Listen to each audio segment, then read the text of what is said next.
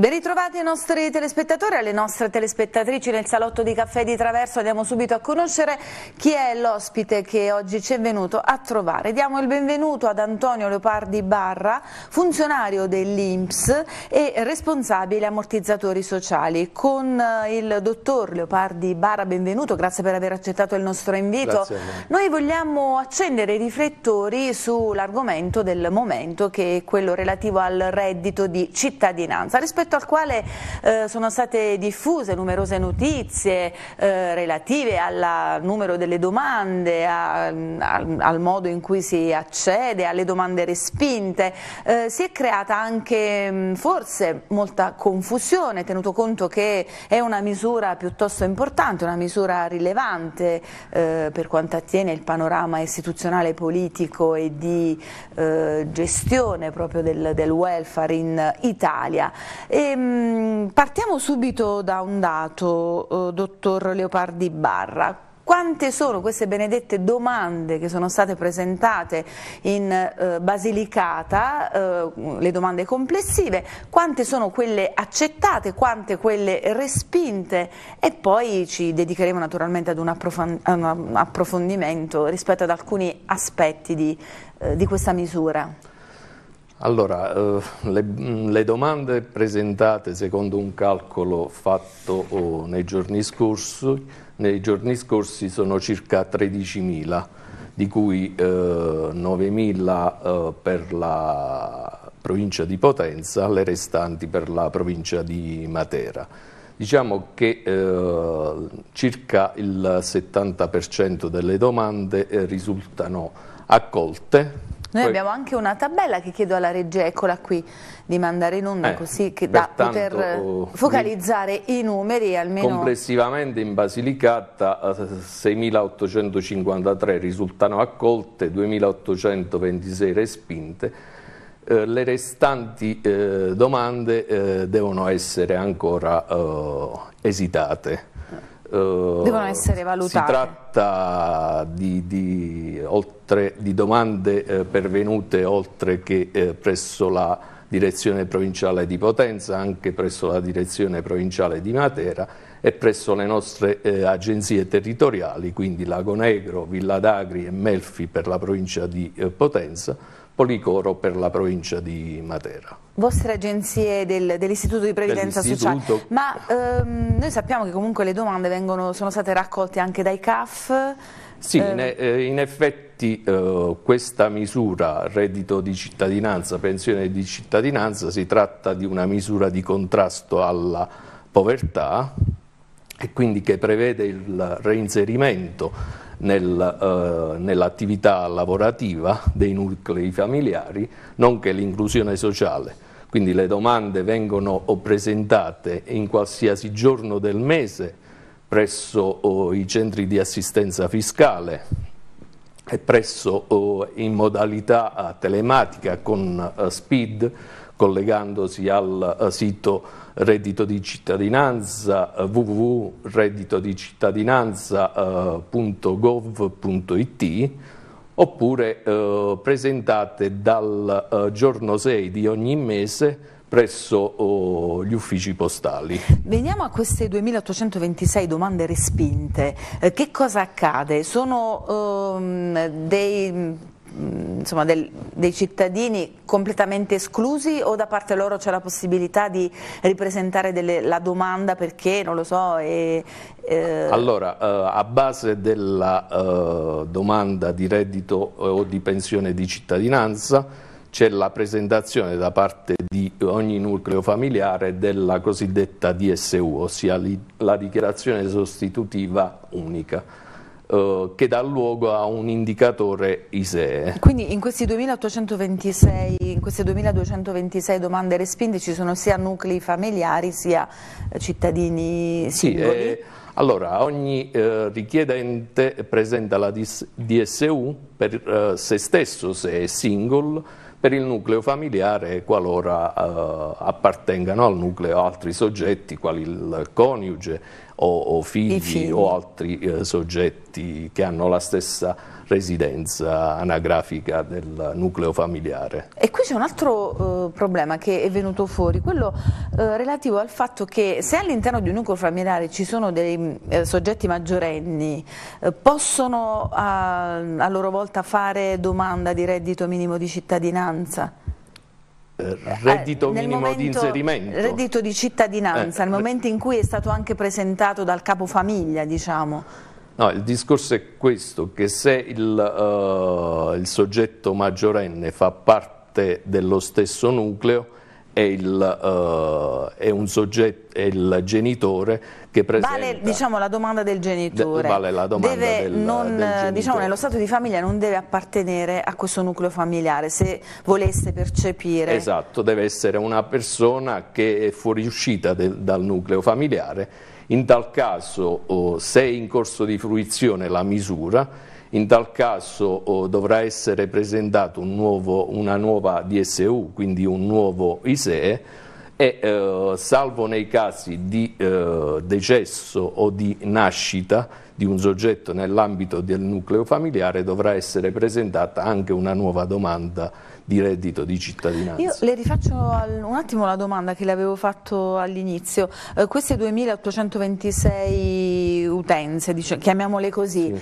eh, sono state escluse definitivamente o possono ripresentare domanda perché c'erano eh, degli errori eh, commessi nella compilazione, non lo so, dell'ISEE oppure... Io suppongo che la maggior parte di queste domande, se non si modifica eh, la situazione patrimoniale del nucleo, quindi eh, mm, l'indicatore ISEE è inferiore a quello previsto di 9.360 euro, Uh, si tratta di domande che uh, non... sono escluse dalla misura. Invece chi se ne fosse dimenticato oppure non si è attrezzato ha la possibilità comunque di, fare, di presentare domanda, non c'è una scadenza? No, non c'è una scadenza. Come le ho detto prima, la domanda può essere presentata in qualsiasi giorno del mese presso i CAF e, e in modalità telematica e dal 6 di ogni mese uh, alle poste italiane le quali, eh,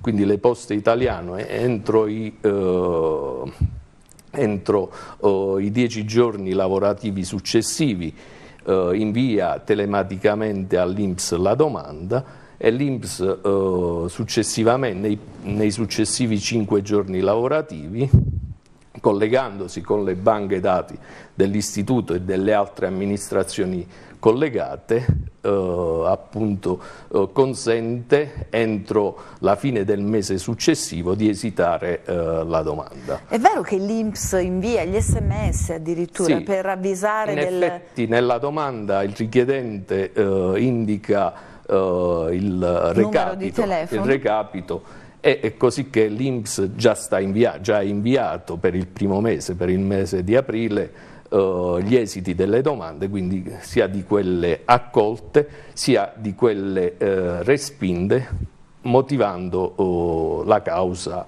per le quali Una volta accolta la domanda, la domanda, entro quanto tempo queste persone possono ritrovarsi il denaro nelle proprie tasche? No, diciamo che l'Inps già il mese di aprile ha predisposto il pagamento a, a poste italiane quindi Poste Italiane eh, convocherà eh, i singoli richiedenti a cui rilascerà eh, la carta RDC con la quale i singoli potranno insomma, beneficiare dell'importo. ben sappiamo che va utilizzata. Eh sì, va utilizzata. E... Secondo delle disposizioni vere esatto, e proprie di legge esatto. e, rispetto alle quali non Quindi si può transigere. possono già utilizzarla per acquistare beni di prima necessità e quant'altro, è previsto dalla, dalla legge. Insomma. Con un contributo che è stato realizzato dalla redazione della Nuova TG, eh, noi cerchiamo di affrontare un altro aspetto che attiene a questo argomento. Intanto io le verso il caffè nella speranza che non Grazie. si sia raffreddato e intanto chiedo alla regia di mandare questo contributo. In questi giorni sono diverse le richieste di chiarimento che stanno giungendo ai sindacati da parte di cittadini fruitori del reddito minimo di inserimento che hanno inoltrato domanda di partecipazione anche al reddito di cittadinanza. Gli stessi stanno ricevendo messaggi dall'Inps che comunica che la domanda è stata accettata e che a breve riceveranno la card per l'accredito. Dunque, come comportarsi in questo caso? Il richiedente deve fare immediatamente una comunicazione alla Regione Basilicata o alla LAB in cui comunica la rinuncia al reddito minimo in seguito all'ammissione al reddito di cittadinanza. Esiste infatti una delibera di giunta regionale, la numero 1011 del 27 settembre 2017, che sancisce il divieto di cumulo tra le due misure. Dal canto suo la CGL chiede ulteriormente alla Regione Basilicata di intervenire per fare chiarezza in merito inviando una comunicazione a tutti i beneficiari del reddito minimo di inserimento. Ricordiamo che gli ultimi dati relativi al reddito di cittadinanza in Basilicata parlano di circa 10.000 domande pervenute, poco più della metà arrivano da una platea femminile. Prima che fosse attivo il reddito di cittadinanza erano presenti in Basilicata anche altre misure di sostegno alla povertà come il reddito minimo di inserimento ma c'era anche il reddito di inclusione che era stato poi approvato dal governo centrale, dal governo all'epoca Gentiloni. Eh, sono cumulabili questi, eh, queste misure eh, come abbiamo visto nel servizio, già eh, la regione Basilicata, con una, con una, DGR, la 1011 del 2017, stabilì eh, l'incumulabilità del reddito minimo di inserimento con qualsiasi altra misura di carattere nazionale, all'epoca era il REI, il reddito di inclusione, eh, e quindi l'incumulabilità fra le due misure. Vi furono pure delle note esplicative della Regione in cui eh, segnalava ai comuni, perché eh, in precedenza il REI veniva richiesto presso i comuni, di eh, non impedire che eh, appunto, i richiedenti potessero presentare le domande, ma nel momento in cui veniva accolta gli stessi richiedenti dovevano optare per una misura o per l'altra in quanto incumulabili fra di loro. Quella regionale, il reddito minimo di inserimento, vede la platea coinvolta eh, impegnata in, alcuni eh, processi di inserimento lavorativo. Eh, queste persone perdono questo lavoro, molti sono impiegati, eh, non lo so, nei comuni o anche nel consorzio di bonifica. Eh, che cosa succede a queste persone? Non possono più continuare a prestare prestare questo servizio. E in questi casi qua... È... E, e, si mettono in corsa nel processo previsto per il reddito di cittadinanza alla ricerca di un, di un posto di lavoro. Esatto, nel momento in cui loro optano, optano per uh, il uh, reddito di cittadinanza, in quel caso là uh, chiaramente devono adeguarsi a quelle che sono le regole previste dalla normativa propria. Eh, Quindi sono incumulabili e eh, il cittadino lucano deve scegliere se una... continuare a percepire eh, la misura che percepiva in origine, quella del reddito minimo di inserimento in questo caso o del reddito di inclusione nel secondo caso, oppure insomma, percepire il reddito di cittadinanza, eh, anche il, se... Mm, prego, prego. Per il reddito oh, di inclusione visto che è una misura anch'essa a livello nazionale, nazionale. Eh, bisogna dire questo, che sì. eh, appunto il reddito di inclusione che è previsto per 18 oh, mensilità, eh, nel momento in cui eh, il, il richiedente presenta domanda di eh, reddito di cittadinanza e quindi eh, la sua domanda viene accolta, decade, viene dal, oh, decade dal, è, è, automatica, quindi eh, inizierà a percepire il reddito, il reddito di, cittadinanza. di, cittadinanza. per le 18 eh certo, perché le casse del governo centrale quelle sono, non è eh che sì, possono che... diramarsi su più fronti.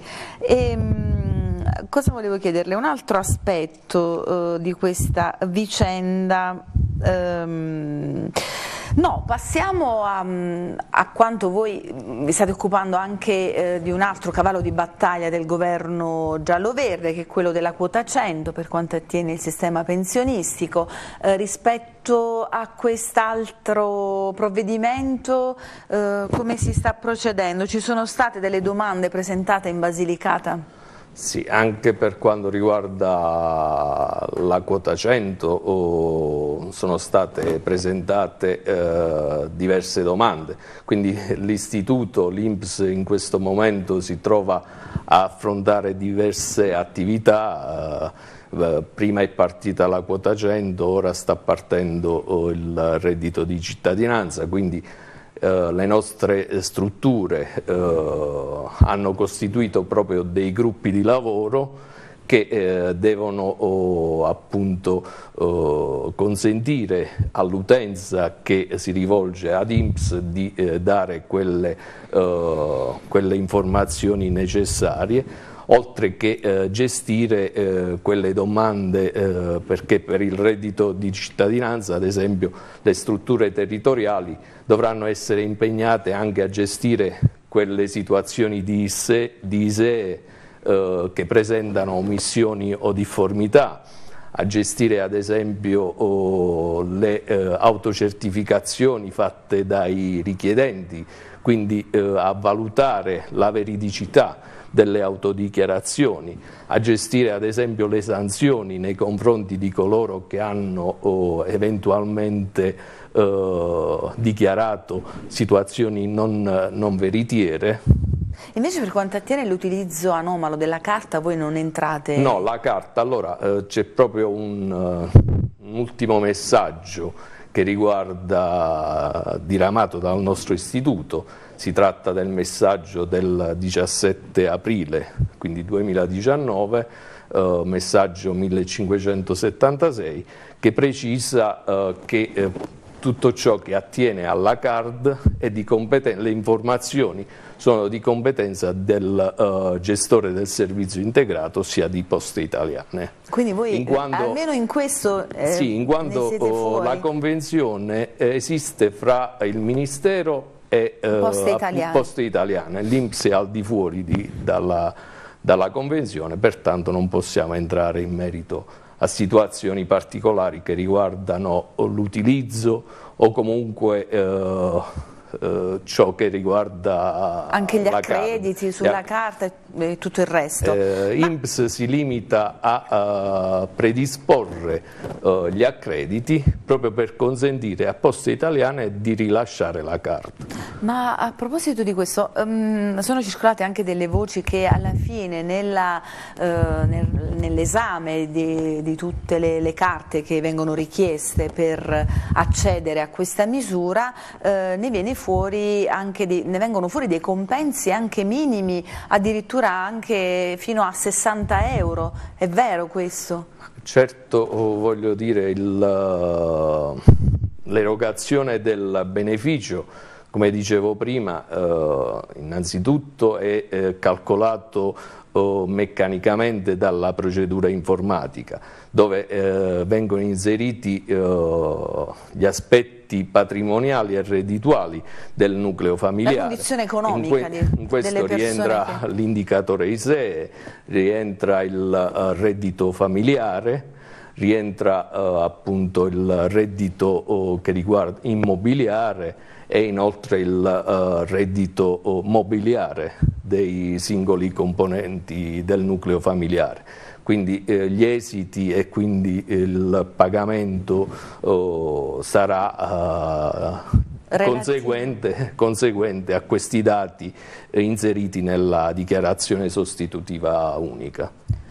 Ma eh, lei faceva riferimento al fatto che l'istituto oggi, come oggi, si ritrova a gestire tutta una mole di lavoro che se è una mole di lavoro aggiuntiva.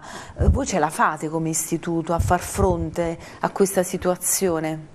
All'istituto mm, sicuramente rispetto anche all'organico che avete a disposizione anche per quanto attiene la sede lucana come sì. quelle decentrate Sicuramente eh, l'istituto oh, lo, deve lo, deve fare, ce la farà, insomma, grazie all'apporto e al si contributo. Si può pensare ad una vertenza ogni... IMSS? No. No, no. Perché...